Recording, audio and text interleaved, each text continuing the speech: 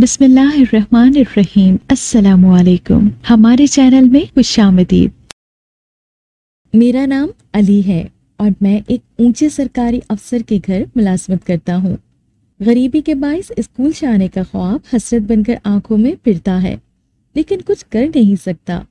मेरे वालदेन ने बे इंतहा गुर्बत और तंगी के बावजूद हमें भीख मांगने से दूर रखा और हमेशा खुददारी का दर्ज दिया। मैं जिस घर में काम करता हूँ, वहाँ की मालकिन इंतहाई तेज मिजाज खातून है और जरा सी बात पे आग बगोला हो जाती है। आज भी बच्चों के स्कूल यूनिफॉर्म इस्त्री करते वक्त मेरा ध्यान भटक गया कि अगर ये यूनिफॉर्म मैं पहनूं तो कैसा लगूँगा। बस इन्हीं सोचों में गुम था कि स्त्री मेरे हाथ से गिरी और मेरे हाथ समेत शर्ट का कोना चला गई। मालकिन ने मुझे बहुत बातें सुनाई और नौकरी से निकाल दिया। मैं इंतहाई परेशानी के आलम में अपने घर की तरफ़ जा रहा था कि मुझे एक जिन साथी मिली, जिसने मुझे पचास हज़ार रुपए दिए और कहा कि इनसे कारोबार शुरू करो और एक लिफाफा दिया, जिसमें मेरी माँ के नाम खत था। जिन साथी ने कहा कि इस लिफाफे पे लिखी तहरीर पे अमल करना, वरना मेरा नाम अली है। हम छह बहन भाई हैं, तीन बहनें और तीन भाई। मेरा ताल्लुक इस माशरे के इंतहाई निचले तबके से है, जिन्हें सांसों की डोर को ज़िंदगी से बांधे रखने के लिए बहुत जद्दोजहद करना पड़ती है। कभी फाके तो कभी पेट भर के खा लिया। घर के सब अफराद कोई ना कोई काम करते हैं। लेकिन फिर भी इस महँगाई के दौर में दो वक्त की रोटी बमुश्किल पूरी होती है। मेरी वालदा इंतहाई साबर खातून है, जिन्होंने कभी भी तंगी के हालात का शिकवा नहीं किया। ना ही मेरे वालिद से कभी इस बात पर लड़ाई की कि आज पैसे क्यों नहीं लेकर आए। अब्बू और बड़े भाई मजदूरी करते हैं। आजकल हालात ही ऐसे हैं कि लोगों को बस पेट की फ़िक्र पड़ी है। लेबर ज़्यादा है और काम कम। इसलिए जिस दिन दिहाड़ी मिल जाए, उस दिन घर के सभी अफराद जरा पेट भरकर खाना खा लेते हैं। मैं और मुझसे बड़ा भाई सरकारी अफसरों के घर मुलाजमत करते हैं। मुलाजमत क्या है? ऑल टाइम नौकर कह लें। घर का हर छोटा मोटा काम करने की ज़िम्मेदारी हम पर है। अम्मी और बहनें घर बैठे लिफाफे बनाने का काम करती हैं। अखराजात आमदनी से बढ़कर है। ऐसे में स्कूल जाना बस ख्वाब ही लगता है। मैंने एक टीवी वाले अंकल को अपना तफसीली तारुफ दिया, जिन्होंने मुझे इस काम के लिए दो सौ रुपये दिए थे। ये तो था एक गरीब बच्चे का तारुफ, जो स्कूल जाना चाहता है, लेकिन वसाइल की कमी के बायस जा नहीं सकता। हम में से कितने ही लोग ऐसे हैं जो किसी महँगे रेस्टोरेंट में एक वक्त के खाने पर इतने पैसे उड़ा देते हैं, जितनी इस बच्चे की पूरी महीने की कमाई है। काश हम लोग इस समय सोच सकें कि ऐसे बच्चों को हमारी तवज्जो की खसूसी ज़रूरत है। वो अंकल अब भी कुछ बोल रहे थे, लेकिन मैं अपने हाथ में पकड़े वो दो सौ रुपये कितनी ही देर तक देखता रहा था। घर आकर अम्मी को बताया कि ऐसे मुझे अंकल ने दो सौ रुपये दिए हैं। अम्मी कहने लगी आइंदा तुम्हें ऐसे कोई इंटरव्यू के लिए कहे तो मत जाना, मना कर देना और पैसे तुम बिल्कुल मत लेना। इज़्ज़त से बढ़कर कुछ नहीं है। चंद पैसों की अवज अपनी इज़्ज़त का सौदा ना करना। अम्मी, मुझे इस बात की समझ नहीं आई। देखो बेटा, हमारे हालात से सिर्फ़ हमारे मोहल्ले के लोग वाकिफ हैं। तो क्या ये ज़रूरी है कि हम टीवी पर आकर सबके सामने अपने हालात बताएँ, ताकि कल को कोई भी राह चलते बेइज्जत कर दे? अम्मी, किसी को कोई इख्तियार नहीं कि हमारी गरीबी की वजह से हमारा मज़ाक उड़ाए। तो बेटा, सारी दुनिया को अपने दुख में शामिल करके हम उन्हें यही एहसास दिलाना चाहते हैं ना कि हमें आपकी मदद चाहिए। फिर चाहे वो इखलाकी हो या माली, मुश्किल वक्त में मदद मांगना बुरी बात नहीं है। ना ही मैं इससे मना कर रही हूँ। मैं बस ये समझा रही हूँ कि मेहनत हमारे इख्तियार में है और हमारे लिए यही सबसे बढ़कर है। चलो तुम मुँह हाथ धो लो। तुम्हारे अब्बू और भाई भी आते ही होंगे। फिर मिलकर खाना खाते हैं। खाने में क्या बना है, अम्मी? मैंने अपने बेटे की मनपसंद डिश बिरयानी बनाई है। अब तो तुम्हारी बड़ी बहन भी बहुत अच्छी बिरयानी बना लेती है। अम्मी, आपने तो कमाल कर दिया। चले, सब आते हैं तो खाना खाते हैं। अगले दिन जब मैं सुबह सवेरे मालकिन के घर पहुँचा तो वो पहले ही किसी बात पर बड़े साहब से खफा थी। इसीलिए मुझे देखते ही बोली कहाँ मर गए थे तुम? इतनी देर कर दी? बच्चों के यूनिफॉर्म तुम्हारा बाप इस्त्री करेगा? हालाँकि मैं मुकर्रा वक्त से भी दस मिनट पहले मालकिन के घर पहुँचा था। खैर, बड़े लोगों का गुस्सा भी हम जैसे कमज़ोर लोगों पर ही निकलता है। मैंने जल्दी जल्दी यूनिफॉर्म इस्त्री करना शुरू किए। उनका बड़ा बेटा मेरा हम उम्र था। मैं स्त्री ऑन छोड़कर उसका यूनिफॉर्म पहनकर देखने लगा कि मैं कैसा लगूँगा। बस यही मुझसे गलती हुई। स्त्री तेज गर्म हो चुकी थी। अली, ये क्या कर रहे हो तुम? मालकिन ने मुझे यूनिफॉर्म पहने देखा तो गुस्से से धाड़ी थी। मैं जल्दी से शर्ट उतारने लगा। गरम स्त्री पता नहीं कैसे गिरी और शर्ट का एक कोना चल गया। बस मेरी किस्मत खराब थी, ये शायद मालकिन को गुस्सा ज़्यादा था। शर्ट तो खराब हुई, सो हुई। मुझे शदीद बेइज्जत करके नौकरी से निकाल दिया गया। मेरा हमसे बुरा हाल था। क्योंकि जैसे भी था, मुझे महीने बाद पाँच हज़ार मिल जाते थे, जिनसे घर का कुछ न कुछ सौदा सुल आ जाता था। लगी बंदी आमदनी थी, इससे भी हाथ धो बैठा। रोते हुए एक दरख्त के नीचे बैठ गया और सोचने लगा कि अम्मी को क्या बताऊँगा। वो तो परेशान हो जाएँगी। इन्हीं सोचों में गुम था कि एक जिनसाती का गुजर हुआ। उसने मुझे रोते हुए देखा तो मेरे पास आई और बोली, क्या परेशानी है? क्यों रोते हो? मैंने उसे तफसील से अपना सारा मसला बताया और मदद के लिए कहा, क्योंकि मैं नहीं चाहता कि मुझे इंसानों के आगे हाथ फैलाने पड़े। इसलिए मैंने जिन सादी से मदद तलब की, उसने मुझे पचास हज़ार रुपए दिए और एक लिफाफा दिया कि इसमें लिखी तहरीर तुम्हारी वालदा के लिए है। जब तक तुम्हारी वालदा इस लिफाफे पे लिखी तहरीर पर अमल करती रहेंगी, तब तक तुम लोग खुशहाल रहोगे। लेकिन एक दिन भी नागा हुआ तो फिर से उन्हीं हालात में लौटा दिए जाओगे। अब तुम जाओ और अपनी माँ से कहो कि परेशान होना छोड़ दे। मैं पैसे लेकर खुशी खुशी घर गया और अम्मी को सारी तफसील बताई। अम्मी पहले तो बहुत हैरान हुई कि ये कौन मेहरबान है जिसने इतने सारे पैसे दे दिए। हमारी ज़िंदगी को तब्दील करने का पहला मरहला आ पहुँचा था। अब्बू और भाई की आमद का इंतज़ार था कि उनके आने पर ही तफसीली गुफ्तगू की जाए कि पैसों का मुनासिब इस्तेमाल क्या हो सकता है। रात के खाने के बाद अम्मी ने अबू और भाई को सारी तफसीलात बताई और एक तजवीज दी कि अगर हम इन पैसों से घर में खाना बनाकर बाहर बेच दें तो हमें काफ़ी मुनाफा हो सकता है। अबू ने कहा, हम आठ अपराध हैं। इन पैसों को दो हिस्सों में तकसीम करके दो काम शुरू किए जा सकते हैं। अम्मी ने पूछा, वो कैसे? तो अब्बू बोले, कि हम दो टीम्स बनाते हैं। मैं, अहमद, यानी बड़ा भाई और किरण, बिरयानी का काम शुरू करते हैं।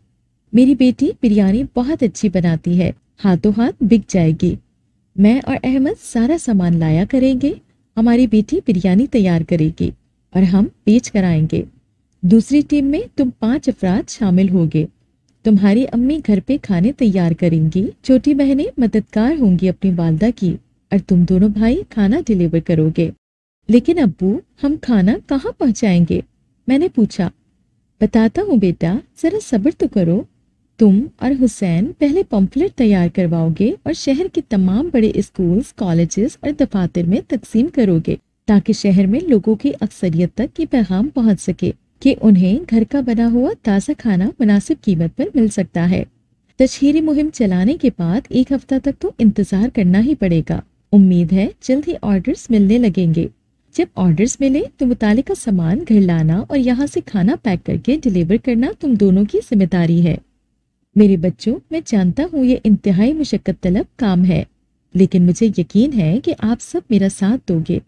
अम्मी, जो खामोशी से सारी गुफ्तगु सुन रही थी, अब बोली, इस लिफाफे में मेरे नाम एक पैगाम है, और वो ये कि जब कारोबार चल पड़े तो अपने जैसों को भूल न जाना, और अपने रोज़ाना के मुनाफे में से चाहे पाँच फ़ीसद ही सही, अल्लाह के लिए किसी की मदद कर देना। तुम्हारा कारोबार जल्द ही तरक्की करने लगेगा। इनशाला हम ज़रूर सदका निकालेंगे अबू ने कहा, और सब अगले हफ़्ते में करने वाले कामों का जायजा लेने लगे कि किसने कौन सा काम करना है। एक हफ़्ता बहुत मसरूफ गुजरा। मैं और मेरा भाई हुसैन शहर के तमाम छोटे बड़े स्कूलों और कॉलेजेस में अपने घर का खाना के पंपलेट तकसीम करके आए थे। स्कूल्स के सामने से गुजरते एक बार फिर दिल में कसक उठी थी कि काश मैं भी किसी स्कूल में पढ़ सकता अगर मुझ पर यह मौशी बोझ ना होता। शहर में अक्सर दफातर ऐसे थे कि जहाँ बहुत से लोगों ने हमें पहले ही दिन ऑर्डर दे दिया, क्योंकि वो लोग बाजारी महँगे खानों से तंग आ चुके थे। हमने घर आकर अम्मी को बताया और अम्मी ने बिस्मिल्लाह पढ़कर मतलूबा सामान की पर्ची और कुछ पैसे हमारे हाथ में थमा दिए। शाम को हम दोनों भाई सामान ले आए। दिन की नस्बत शाम के वक्त सब्ज़ी जरा सस्ती मिलती थी। अगले दिन खाना तैयार हुआ और हम मुकर्रा वक्त पर खाना लेकर दफ्तर पहुँच गए। उनको खाना बहुत पसंद आया और उन्होंने उसी वक्त पैसों की अदायगी कर दी। साथ ही अगले दिन के लिए ऑर्डर्स भी मिल गए। यूँ हमारा काम शुरू हो गया। दूसरी तरफ़ अप्पू और भाई का काम भी बहुत अच्छा चलने लगा था। आप ही बिरयानी बनाती और भाई पैकिंग का काम करते। शुरुआत 25 डब्बों से की गई और अल्लाह के फ़सल से मुनासिब बचत हो गई। अम्मी अब्बू की राय थी कि दोनों काम अलग हैं, इसलिए इनका हिसाब किताब भी अलग ही रखना चाहिए, और ऐसा ही किया गया। अब्बू ने मामूल बना लिया कि रोज़ाना एक भूखे का पेट भरना है और इस पे सख्ती से कारबंद रहे। अम्मी ने हमें भी ताकीद की और रोज़ाना एक आदमी का खाना अलग से पैक करके देती कि जहाँ कोई जरूरतमंद देखो, उसे चुपके से थमा दो। हम दोनों भाइयों ने भी यही किया। अल्लाह के फजल से और हम सब घर वालों की मेहनत से हम इस काबिल हो गए थे कि सुकून से दो वक्त का खाना पेट भर के खा सकें। अम्मी ने पहली बचत तीन माह बाद निकाली, जिससे घर की मरम्मत करवाने का फैसला हुआ। अब्बू की टीम की बचत से सब घर वालों को एक एक जोड़ा सिलवा कर दिया गया। यू तीन माह के कलील अरसे में हम इस काबिल ज़रूर हो गए थे कि अपना आप कुछ हद तक संभाल सके। अल्लाह ने बहुत करम किया था, वरना हमारी ऐसी औकात नहीं थी। कारोबार शुरू किए छह माह गुजर चुके थे। कभी कोई नाखुशगवार बात नहीं हुई थी। सब कुछ ठीक चल रहा था। कारोबार को अगले लेवल पर लेके जाने के लिए अभी बहुत सरमाया दरकार था। जिसके लिए हम सब की मेहनत जारी थी। अगली बचत से एक रिक्शा लेने का फैसला हुआ, जो अब्बू और भाई के इस्तेमाल में होता, क्योंकि उनके काम के औकात दिन 11 बजे से शाम 4 बजे तक थे। सो उन्होंने फैसला किया कि सुबह फजर के बाद सब्ज़ी मंडी से सब्ज़ियाँ लाकर मुनासिब मुनाफा रख के दुकानदारों को फराहम की जाए। इस सूरत में हमें भी बाज़ार से सब्ज़ियाँ ना लानी पड़ती। वैसे भी आमदनी का एक और ज़रिया पड़ जाता। लिहाजा एक सेकेंड हैंड रिक्शा खरीद लिया गया। अब ये भी सहूलत थी कि अब्बू और भाई को बिरयानी के डब्बे किसी की दुकान के आगे नहीं रखने पड़ते थे। अपने रिक्शे में सामान रखते और बेचकर घर वापस आ जाते थे। आप ही ने बिरयानी के साथ सलाद और रायता तो दिया ही था, अब शामी कबाब भी शामिल किए और कीमत में भी मामूली इजाफा किया। लेकिन उसके बाद बिरयानी की खरीद में इजाफा हुआ और अब रोज़ाना की बुनियाद पर कभी सत्तर अस्सी और कभी सौ डब्बे भी बिक जाते। दूसरी तरफ़ हमें भी एक बाइक या रिक्शे की ज़रूरत थी, ताकि कस्टमर तक खाना पहुँचाने में देर ना हो। हमें ये सहूलत फराहम करने के लिए अगली बचत यानी तीन माह बाद का वक्त रखा गया, और फिर अल्लाह के करम से वो वक्त भी आया, कि जिस घर में कभी दो वक्त की रोटी पूरी नहीं होती थी, वहाँ अब दो दो रिक्शे खड़े थे। मैंने और भाई ने शाम के वक्त रिक्शा चलाने का फैसला किया, और अम्मी अबू को अपने फैसले के मुतालिक बताया। कि हम शाम चार बजे से रात दस बजे तक दोनों रिक्शा चलाएँगे। ये हमारी आमदनी का चौथा ज़रिया साबित हुआ। और अम्मी ने अपनी सलीका मंदी से पहले दोनों कारोबार, यानी खाने के दोनों कामों की सारी आमदनी बतौर बचत जमा करना शुरू की। और घर का सिलसिला अब इन दो इजाफी ज़रिया आमदनी से पूरा करने का फैसला किया।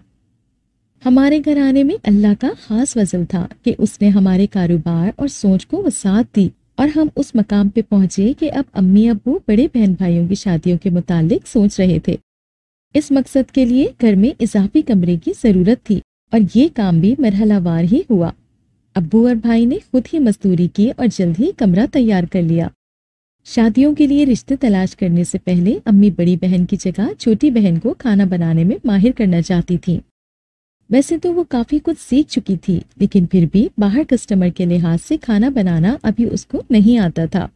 इसलिए अम्मी ने छह महीने उसको अच्छे से गाइड किया और वो खाना बनाने में अच्छी खासी माहिर हो गई। यूँ अम्मी की एक परेशानी खत्म हुई और आपी के लिए रिश्तों की तलाश शुरू हुई। कराफाल हमारे खाला साद भाई के नाम निकला जो बैरून मुल्क मजदूरी करते थे। उनका घर भी हमसे अच्छा बना हुआ था और वैसे भी अम्मी की बहन थी। दुख सुख में साथ देती थी, इसलिए अम्मी को इस रिश्ते पे कोई एतराज़ नहीं था और अब्बू को भी भला क्या एतराज़ होना था। लड़का देखा भाला था, शरीफ लोग थे, अम्मी अब्बू ने हाँ कर दी। अम्मी अब्बू मंगनी वगैरह के लंबे चक्रों में नहीं पड़ना चाहते थे, वैसे भी दोनों तरफ़ से सादगी से निकाह करने की बात तय हुई थी। लड़के के पैरों मुल्क से वापसी पर सादगी से निकाह हुआ और मेरी बहन अपने घर की हो गई। अब दो भाइयों की शादियों का मामला था। इसलिए पहले कारोबार को मरहलावार बढ़ाना मकसूद था, ताकि बाद में मसाइल न हो। इसीलिए अबू ने दोनों भाइयों को बिठाकर बात की और इस चलते फिरते कारोबार को एक दुकान में शिफ्ट करने की सोच उनके सामने रखी। इस मकसद के लिए हम कम अज कम भी दो साल तक शादी नहीं करना चाहते थे, ताकि पहले दोनों भाइयों के लिए मुनासिब रोज़गार का बंदोबस्त हो सके। अब इस मकसद के लिए फिर से हम सब काम को बढ़ाने के लिए जुट गए। और दिन महीनों में बदलते गए। एक साल गुजरा। अब्बू ने अपने मोहल्ले के करीब ही एक दुकान देखी थी जो किराए पे लेने का फैसला हुआ और कारोबार को आजमाइशी तौर पे शुरू किया गया। अल्लाह ने यहाँ भी अपना करम किया और हमें अच्छा रिस्पॉन्स मिला। दुकान जल्द ही चल पड़ी और हमारे मुस्तकिल ग्राहकों में भी इजाफा हुआ। कहते हैं ना कि जब अल्लाह देने पे आता है, बेहिसाब देता है। यही हिसाब हमारे साथ हुआ। हम सब घर वाले बहुत खुश थे। दोनों भाइयों की शादी के लिए रिश्ते तलाश किए गए और अपने जैसे ही मेहनती लोगों में रिश्ते तय कर दिए गए। शादी की तैयारियाँ जारी थी दोनों एतराफ से कि एक दिन अचानक बल्तिया वाले आए और हमारी दुकान समेत कई दुकानों को मस्मार कर गए। ये कहते हुए कि गवर्नमेंट की ज़मीन है और यहाँ सोसाइटी बनेगी। इन चार सालों में ये पहला धचका था, पहला बड़ा नुकसान जो हम सबको उठाना पड़ा। हम अभी इससे संभलने की कोशिशों में लगे थे कि एक और कयामत टूट पड़ी। हमारे घर समेत पूरे मोहल्ले को नोटिस दे दिया गया कि घर खाली कर दिए जाए। ये गवर्नमेंट की ज़मीन है, जहाँ सोसाइटी को अप्रूवल दे दिया गया था। गरीब आवाम के सर से छत छीनकर अमीरों के लिए पुरसकून रिहाइश गाहों का बंदोबस्त किया जा रहा था। ये सरासर ज्यादती थी, लेकिन इसके खिलाफ कोई भी नहीं खड़ा हो सकता था, क्योंकि हर किसी को अपनी जान प्यारी होती है। कौन इस जमीनी खुदाओं के खिलाफ आवाज़ बुलंद करता? पहली रात बगैर छत के खुले आसमान तले गुजारी थी, और सही मायनों में विचारगी और गुर्बत का एहसास आज हुआ था। अगला पूरा दिन हम सब बेबसी की तस्वीर बने अपनी आँखों के सामने अपने घर को मलिया मेट होते देखते रहे। अम्मी की आंसुओं से लबरेज आँखें कभी आसमान को तकती, कभी इन जालिमों को जिन पर किसी का रोना, बित्तुआएँ और सिस्कियाँ कोई असर नहीं कर रही थीं। शाम ढले, वो लोग जब सारी ज़मीन बराबर कर चुके तो उनका बड़ा सरकारी अफसर, जिसे इस काम का भारी मुआवजा दिया गया था, वो हमारे पास आया और कहने लगा, यहाँ बैठने और रोने धोने से कुछ फ़ायदा नहीं होगा। बेहतर है जितनी जल्दी हो सके अपना बंदोबस्त कहीं और कर लो, क्योंकि दो दिन बाद से यहाँ कंस्ट्रक्शन का काम शुरू होगा और तब तक तुम्हारे इस साजो सामान का भी हशर नशर कर दिया जाएगा। फिर अगली बारी तुम लोगों की आएगी। इसलिए बेहतरी इसी में है कि ये जगह चुपचाप छोड़ दो। अपना सामान उठाओ और यहाँ से चलते बनो। ये वही सरकारी अफसर था जिसके घर में मैं चार साल पहले मुलाजमत करता था। उसकी मिन्नतें करने या पाँव पड़ने का कोई फ़ायदा नहीं था। जैसी सख्त मिजाज उसकी बीवी थी, ये उससे भी दो हाथ आगे था। उसे कैसे बताते कि जहाँ हमारे बुज़ुर्ग रहे हों, हमारे बचपन की यादें हों, वो जगह कैसे इतनी आसानी से छोड़ दी जाए? गरीबों को तो पहले ही मुश्किल से खुशियाँ नसीब होती हैं। और हमारी, इन खुशियों के गवाह ये दरो दीवार ही तो होते हैं। हम कैसे ये जगह इतनी आसानी से छोड़ देते? अक्टूबर का महीना था, सर्दी की आमद आमद थी। यहाँ से कूच कर जाने में ही अकलमंदी थी। अब्बू के पास जो जमा पूंजी थी, वो दुकान पर लगा चुके थे। अम्मी ने अपनी बचत और थोड़ा सा जो जेवर बनाया था, वो भी अब्बू के सामने रख दिया।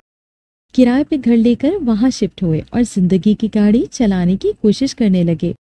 लगता था फिर से वही आ गए हैं जहाँ से ये सफ़र शुरू हुआ था। लेकिन ऐसा न था।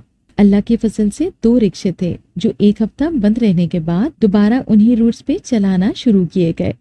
हमने उरूज पूरा देखा भी नहीं था कि सवाल शुरू हो गया। भाइयों के रिश्ते टूट गए। वजह ये बताई गई कि हमने तो सोचा था कि अच्छे कारोबारी लोग हैं। हमारी बेटियाँ ऐश करेंगी। अम्मी ने अल्लाह का शुक्र अदा किया कि बर वक्त ऐसे लोगों से चाँद छूट गई।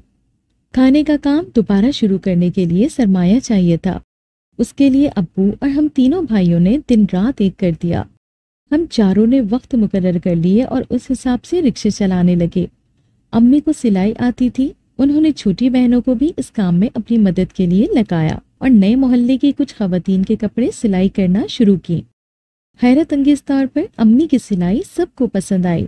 शादियों का सीज़न था। लोगों ने अपने बच्चों की शादियों के कपड़े तक अम्मी से सिलवाए। अल्लाह ने एक बार फिर हमारी सुन ली थी। बचत का फिर वही हिसाब रखा गया और एक साल बाद किराए पर ही दुकान लेकर बिरयानी का काम शुरू किया गया, जो अबू और बड़े भाई ने संभाला। कामों में इजाफे के साथ आमदनी में भी इजाफा हुआ और हम दोनों भाइयों ने रिक्शा चलाने के औकात भी तब्दील किए। सुबह फजर के बाद मंडी से सब्ज़ी लेकर दुकानों पर पहुंचाते। उसके बाद स्कूल के बच्चों को स्कूल तक छोड़ते। सारा दिन सवारी के हिसाब से रिक्शा चलता। यूँ हमारी आमदनी मजीद बढ़ती गई और अल्लाह ने अपने फजल से हर काम में बरकत दी। एक दिन मैंने यूँ ही अम्मी से पूछा कि आपका वो मामूल तो नहीं बदला सदका देने वाला? तब अम्मी ने बताया कि वो चंद दिन जो हमने बगैर छत के गुजारे तब सदका देने के लिए मैं पैसे निकालने की हिम्मत नहीं कर सकी थी। कि अब हम खुद मुसीबत में हैं। हमसे ज़्यादा जरूरतमंद कौन है?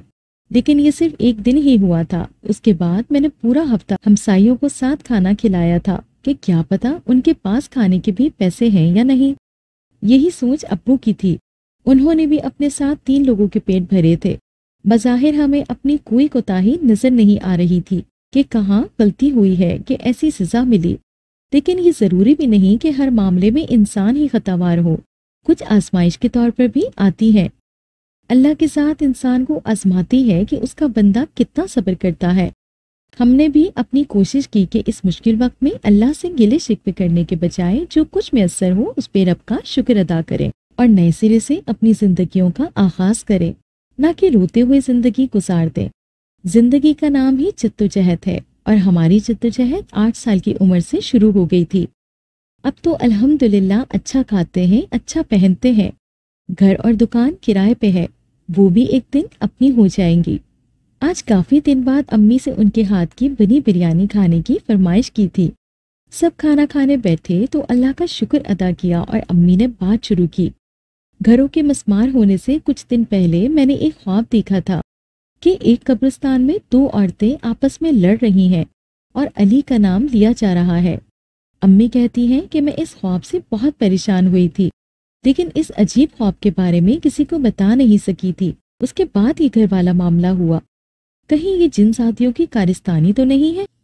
अरे नहीं अम्मी, भला जो हमारी मदद को आए, वो हमारे साथ बाकी लोगों को नुकसान क्यों पहुंचाएँगी? वैसे भी ये सब काम अल्लाह की मर्ज़ी से होते हैं। इसी में कोई बेहतरी होगी। मैं बोला हाँ बेटा, ये तो है। अब देखो, वो लोग देखने में अच्छे और शरीफ थे। लेकिन उन्होंने बस बच्चों के कारोबार को देखा। ये नहीं देखा कि बच्चे मेहनती हैं, अपना मुस्तकबिल दोबारा बना लेंगे। ऐसी आजमाइश उनकी बच्चियों की शादी के बाद भी तो आ सकती थी। अम्मी, बस कुछ लोग ऐसे होते हैं जो इंसान का हाल देखते हैं, मुस्तकबिल नहीं। आपके बेटों को कौन सा कोई कमी है? जिन जादियाँ तो उसके लिए आपस में लड़ती हैं, मैंने हँसते हुए कहा। अरे, क्या मतलब? अम्मी, ये जो ख्वाब आपने देखा, ये सब कुछ हकीकत में हो चुका है। मैंने आपकी परेशानी के ख्याल से नहीं बताया था। असल में बात कुछ यूँ है कि जब अब्बू और भाई दुकान बना रहे थे, बिरयानी का कारोबार वसी करने के लिए, उन दिनों में मुझे ये दोनों बहनें एक दिन रिक्शे के इंतज़ार में खड़ी मिली थी। मैंने उन्हें आम इंसान समझकर रिक्शे में बिठा लिया, लेकिन जब उन्होंने अपनी मंजिल कब्रिस्तान बताई तब मुझे शक गुजरा और मैंने पूछा, बीबी, आपने रात के इस पहर कब्रिस्तान क्यों जाना है? तब रात के दस बजने वाले थे। और मैंने उन्हें आखिरी सवारी समझकर बिठा लिया था कि उनकी मंजिल पर पहुंचाकर घर चला जाऊँगा। लेकिन उन्होंने मुझे कब्रिस्तान जाने का कह दिया। मैं चुपचाप रिक्शा चलाता रहा क्योंकि उनका हम पर एहसान था और कब्रिस्तान के पास रिक्शा रोक के पूछा, जी, अब आप उतर जाए। मैंने घर भी जाना है। तो उनमें से एक जिन आदि बोली, घर भी चले जाना इतनी भी क्या जल्दी है। पहले हमारी बात सुन लो। ये कहकर वो रिक्शे से उतरी और अपने पीछे चलने का इशारा कर दिया। मैं उनके पीछे गया तो वो एक आध खुली कबर के पास जाकर रुक गई और मुझे कहा कि हम दोनों बहनें हैं और हम दोनों ही तुमसे शादी की वास्तगार हैं, लेकिन ये मुमकिन नहीं है क्योंकि मैं इंसान हूँ और तुम जिन शादी। फ़र्ज़ करो अगर ये मुमकिन हो भी जाए तो मैं बेट वक्त दोनों से शादी नहीं कर सकूँगा। वैसे भी एक इंसान और जिन की शादी मुमकिन ही नहीं है तो मैं कैसे ये कर सकता हूँ? करना तो तुम्हें पड़ेगी, चाहे जो भी हो। ये हमारा आखिरी फैसला है। अभी बहस करते थोड़ी ही देर गुजरी थी कि उनके कबीले के सरदार अपने साथ बहुत से जिनसात और जिनसातियों को लेकर आ गए। तब एक बार तो मुझे लगा कि ये मेरी ज़िंदगी की आखिरी रात है, क्योंकि आने वाले लोग भी यकीनन अपने जैसे जिनसादों का ही साथ देते। मेरे लिए वहाँ एक मिनट भी खड़ा होना मुश्किल था। लेकिन मेरी मजबूरी थी, एक कदम भी उठाता तो क्या मालूम अगला कदम उठाने के काबिल भी रहता या नहीं। इसलिए खामोशी से खड़ा देखता रहा कि अब ये लोग क्या करते हैं। कबीले का सरदार जिन मुआजिज बुज़ुर्ग था, जिनकी सब जिनसादे तकरीम कर रहे थे। मुझे लगा ये मेरी बात सुनकर शायद मेरा साथ दे। इसलिए अपनी सारी बात इसके सामने रख दी कि अब आप ही फैसला करें कि मैं कैसे एक जिनसादी से सिर्फ़ इसलिए शादी करूँ कि उसने मुश्किल वक्त में मेरी मदद की थी।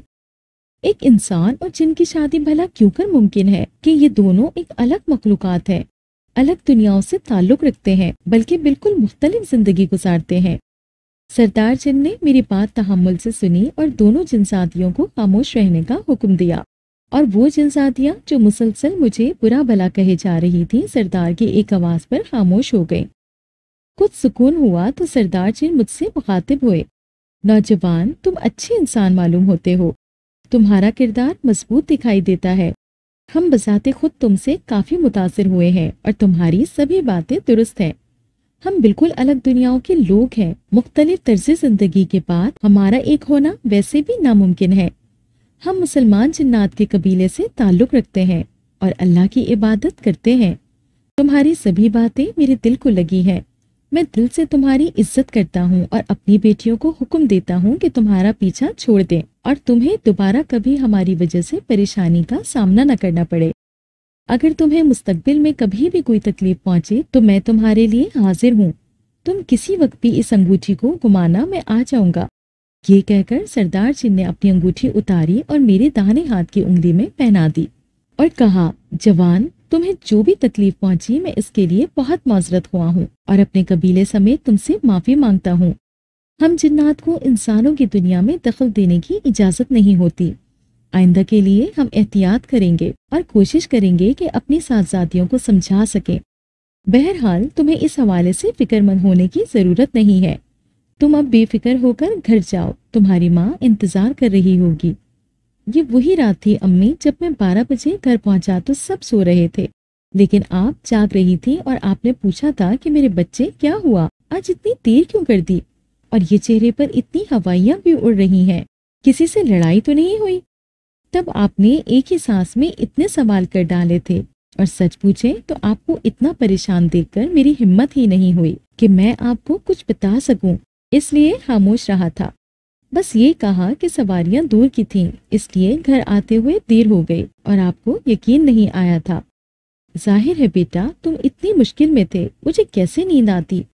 अम्मी बोली, तुमने उस वक्त अपनी परेशानी मुझसे छुपाई ज़रूर थी, लेकिन मुझे अंदाज़ा था कि कोई ज़्यादा बड़ा मसला है। चले अम्मी, कोई बात नहीं, मुश्किल वक्त था, वो भी गुजर गया। अब अल्लाह का करम है कि कोई ऐसी बात नहीं। वैसे भी किसी मुश्किल की सूरत में ये अंगूठी दी थी सरदार जिन ने कि इसे इस्तेमाल करो और वो हासिल हो जाएगा। फ़िलहाल तो ऐसी कोई ज़रूरत नहीं है, मैंने कहा। अब घर बनाना और दुकान बनाना ज़रूरी है, क्योंकि अब सब बहन भाइयों की शादियाँ करनी है। आप ही तो तुम्हारी दुबई चली गई हैं, अपने शोहर के पास। उनकी तो कोई फ़िक्र नहीं, अम्मी बोली। लेकिन हम इन मामला के लिए किसी जिनसादी की मदद नहीं लेंगे, अम्मी। हम खुद मेहनत करेंगे। आपने हमें मदद करने वाला बनाया है, मदद लेने वाला नहीं। अशद ज़रूरत के बगैर हम उनकी मदद नहीं लेंगे। वैसे भी अब हम सब के काम ठीक चल रहे हैं, इसलिए परेशानी की कोई बात नहीं है। आप बेफिक्र रहें, अल्लाह अपना करम करेगा इनशाला सारे मामला ठीक हो जाएँगे।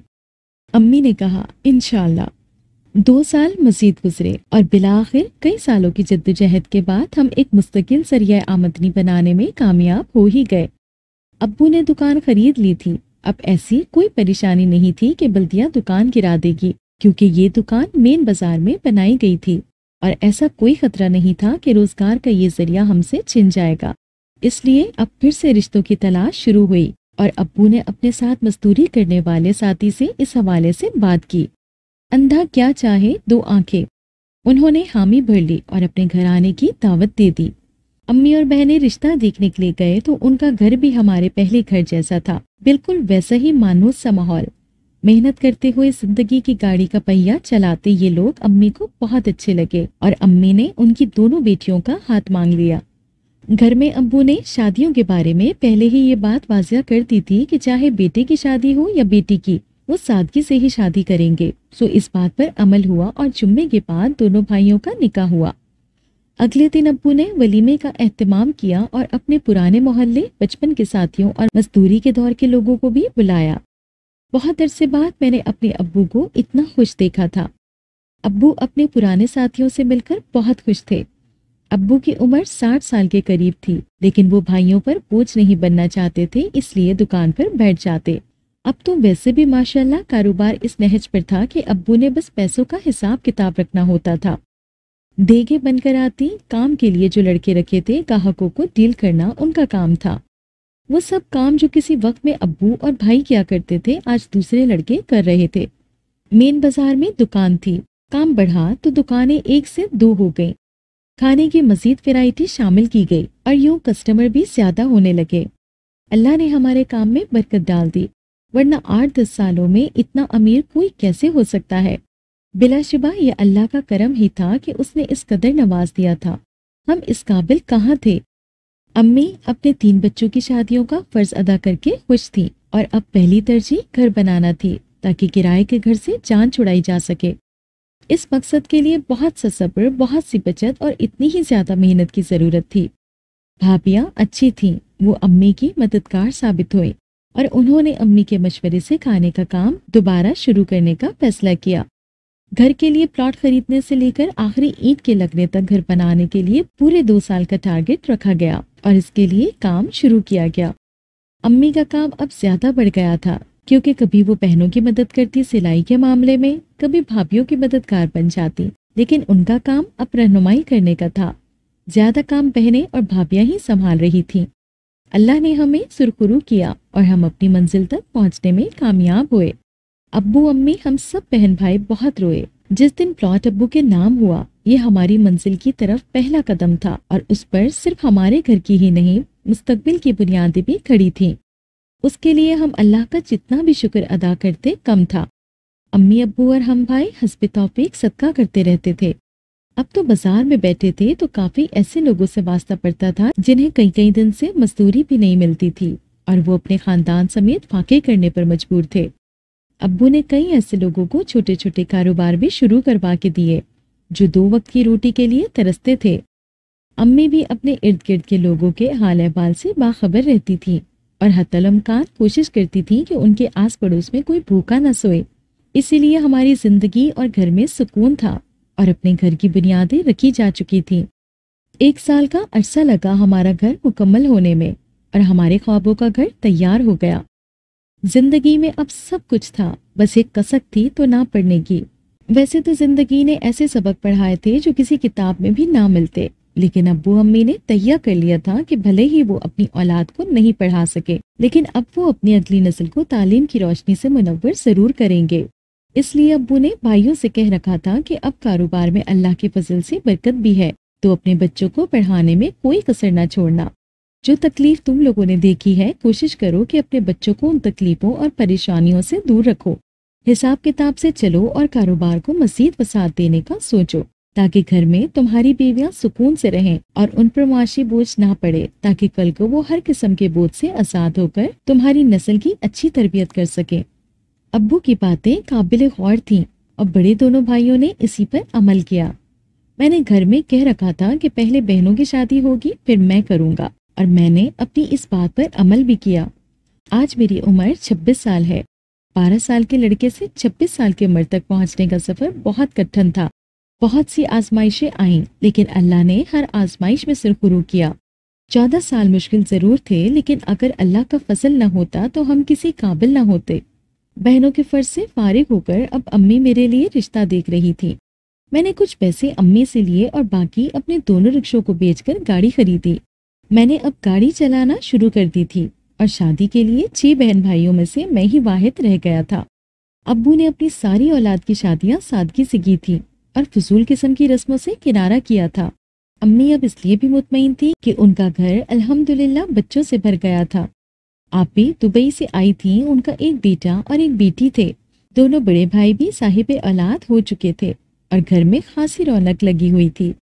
अम्मी ने मुझे कहा कि सब बच्चों को कहीं सैर के लिए ले जाओ, और उन्हें कुछ खिला भी देना। मैंने हँसते हुए कहा, आप अपने लिए बहू ढूंढे, मिठाई खाए हुए काफ़ी वक्त हो गया, जिस पर अम्मी ने कहा कि तुम फ़िक्र ना करो, जल्दी मुँह मीठा करवाऊँगी।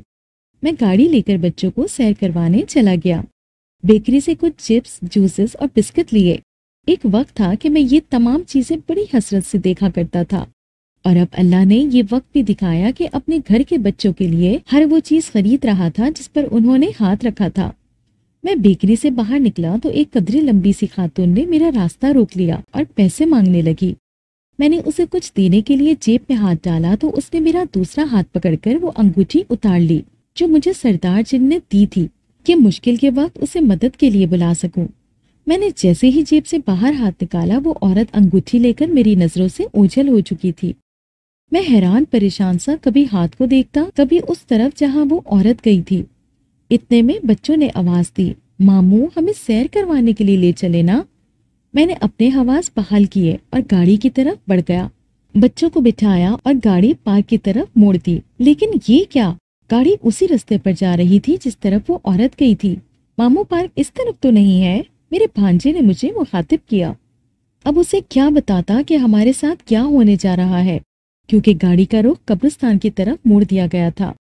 मुझे समझ आ चुकी थी कि बच्चों समेत मुझे यहाँ लाने का क्या मकसद था, ताकि बच्चों के बहाने मुझे ब्लैकमेल करके अपनी बात मनवाई जा सके और अंगूठी भी इसलिए ही उतारी गई थी ताकि मैं मदद न मांग सकूँ।